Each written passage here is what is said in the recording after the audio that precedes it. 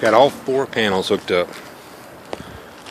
Four BP 230 watt panels in the wind turbine, 800 watt.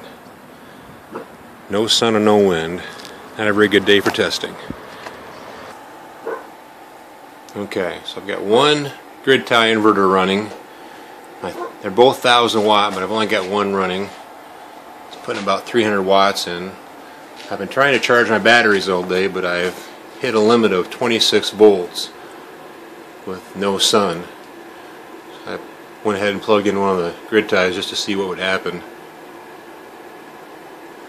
My solar panels are all in parallel, and it's parallel with the wind turbine, there's no wind. I've also got my grid ties in parallel, but I'm only running one. What I'm curious, is it better to parallel the solar panels for the for the current, or should I series a couple of them to get the voltage?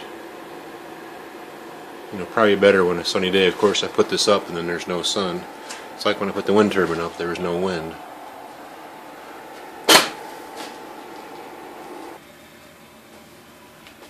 Okay, I went ahead and shut down my grid tie. I'm going to see if it'll charge the batteries up.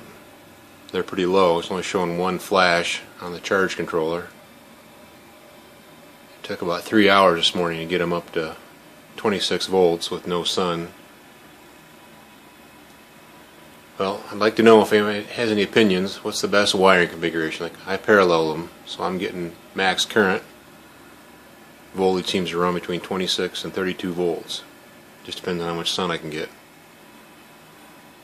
Anybody has any suggestions on wiring? I'd like to know what the difference is. I've seen a lot of systems wired in parallel. You get a lot of voltage with no current. I would think current would be better. So, anybody could post some ideas, let me know.